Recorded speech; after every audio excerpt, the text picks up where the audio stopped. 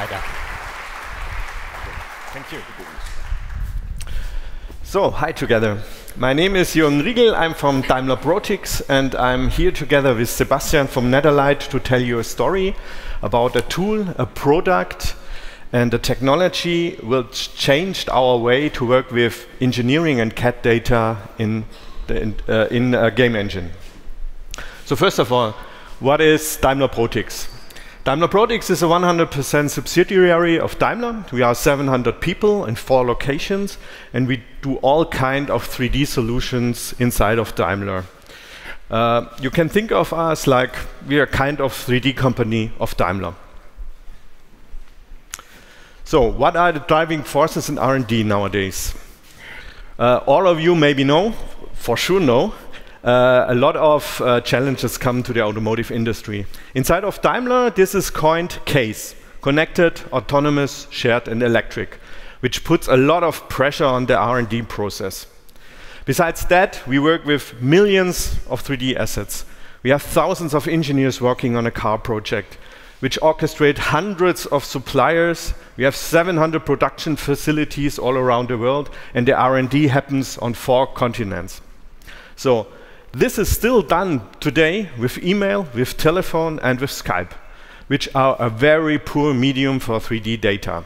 So we need better 3D collaboration in the R&D field. Also, we get very globally with the R&D process. Yeah? 20 years ago, we have mostly of the R&D in Germany, but nowadays we also have a lot of R&D in the key markets and also in uh, continents like India. What kind of features such a new, better collaboration system would have to have? First of all, we early settled on VR because it's a very immersive, a very natural way to work with 3D data and have to be worldwide and easy to use. For easy to use, you need one-click import of engineering and CAD data. That's very important. No engineer has time to make a data prep process or use some tools to get its data in. So it have to be one click and easy. Also, if you hold a meeting, even a virtual one, you need your slides, you need videos, you need all kind of presentation stuff uh, which have to be in the meeting. Another very important point is uh, create and export 3D annotation. Not only drawing and make them, uh, also uh, save them to the PDM system so you can later access it in the development process. Also very important nowadays, simulation data. You have to show simulation data and all kind of other engineering data in such a meeting. Also section and inspection of your CAD data. So that's the reason why we started three years ago the project Engineering Hub together with Netherlight. Uh, it's since since this year uh, it is productive inside of Daimler, and we are here to show it off to you. So, just let's take a look. So the engineering hub, the main thing is just load data without any data preparation, and then bring in your colleagues from wherever you are, and discuss about data and make changes. You have a lot of tools, like here, for example, the clipping plane, to inspect your data and get uh, closer to the problem. You can do annotations in different sizes and colors and save them back, for example, as a JT file to the PDM system for later usage in a CAD data process. You can take measurements, discuss clearances with your colleagues, and can do all kind of uh, inspection on the data. Also, you can select all of the data, move them, test stuff, or try just simply stuff out. You can move your data and position it wherever you want in the scene. And also you can work with volumetric uh, drawings. It's very important in the simulation space. Also, you can create your own 3D libraries. It's very easy and import stuff for testing or training, for example. Here you see uh, the, the presentation screens where you can show your animations, your uh, PowerPoint files, your movies, or whatever. So that's the engineering hub. So how did we do it? Uh, of course, we do it with the Unreal Engine because Unreal brings nearly everything we need. We use the networking uh, game stuff for the worldwide collaboration with the dedicated server. The conversation is done by the TeamSpeak uh, in the online subsystem. Um, Unreal supports every hardware we can think of, uh, all HMDs. The pixel streaming allows us to go on the smartphones and um, to use uh, devices like the HoloLens 1 and 2. Annotations we can do with the dynamic mesh actor. But there are two important things missing. Yeah? The direct loading of the CAD data and the save of the CAD data. And this kind of method, how, it, how it's done, uh, will told you by Sebastian. So, thank you, Jürgen. Um, I would like to um, give you a little bit more of the technical details of that solution. And uh, let me talk about how we made it possible that such a great application like the Engineering Hub was possible at the end. So um, at Netherlight, we've been developing for the past decade um, our own 3D CAD renderer. So it is a very ugly CAD renderer. We don't concentrate on, on visual quality like we do with Unreal. Um, but at least um, it is a really fast renderer. So we fueled it with support for our native CAD5 format. So we developed uh, native readers for JT, for CATIA V5, for NX. And Jürgen calls it a technical renderer. So when it comes to pure speed, um, to loading time, to the size of the models that we are able to load, I'm quite sure that we outperform any other solution on the market.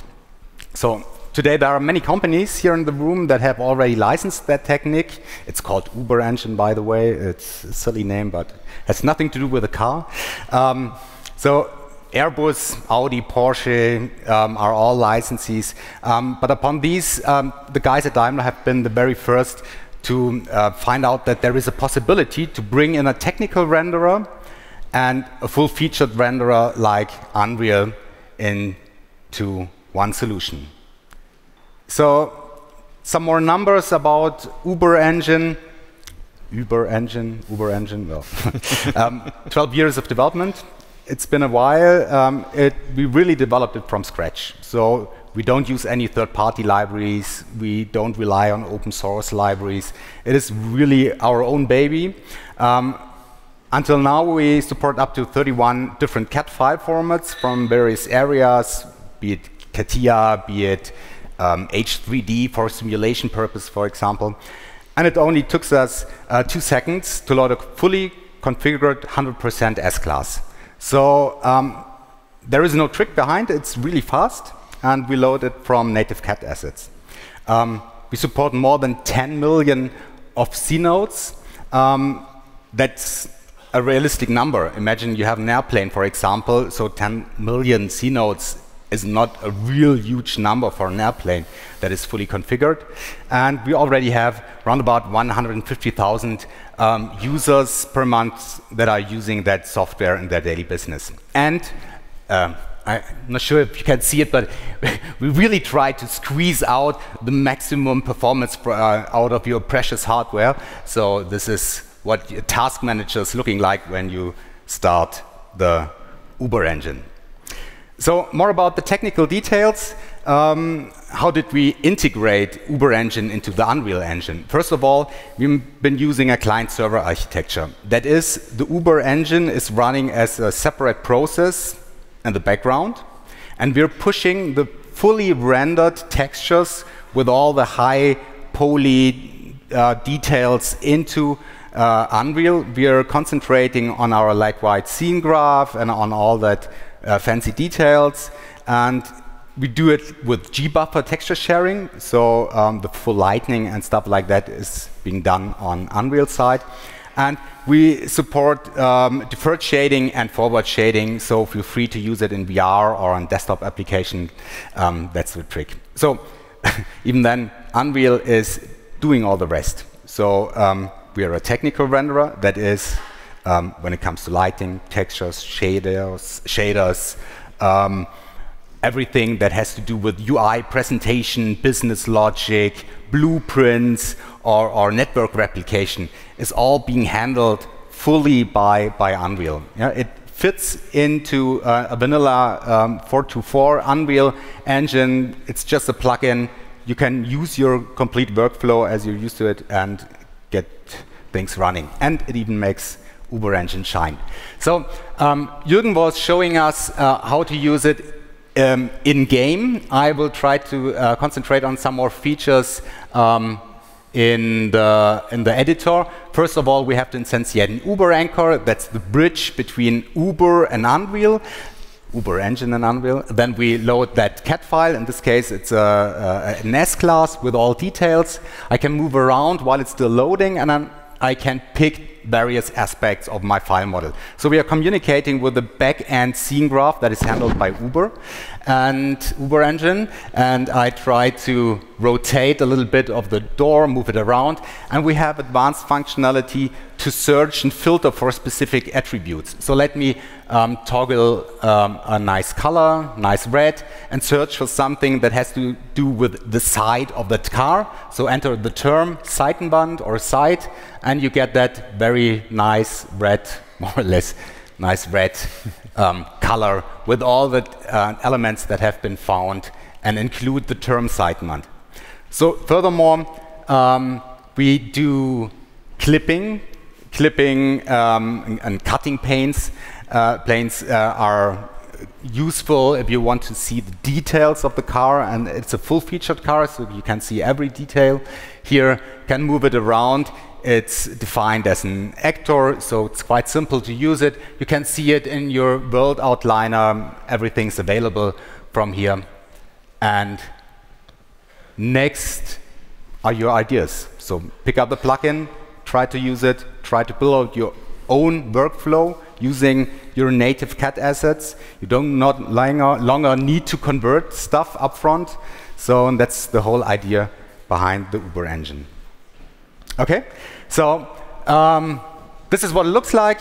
As you can see, you have a BREP feature lines included too. If you want to have advanced DMU functionality, take a look at our booth. And what we've seen today is a revolutionary new workflow, how to handle and bring in CAD data with the full-featured uh, Unreal Engine here. So it's not upon um, converting data upfront and, and, and prepping it. It's just loaded directly from your CATIA, directly from your JT file system, wherever you want to have it. You do no longer need conversion. It does not look as good as handcrafted geometries, obviously. Yeah, there are no textures available. But we are very, very happy and proud to announce that we make that available for a broader audience today. We will bring it into a public beta starting now. And we have two different sites set up for you, websites set up for you. The first one is the engineeringhub.net website. On that site, you get a full featured collaboration tool, the Engineering Hub, has been developed by Daimler. And on our site, uh, we have the uberengine.com. That's the plugin if you're more interested in the technical stuff and want to do your own hands-on grab whatever you want to. Thanks a lot for listening. Thank you.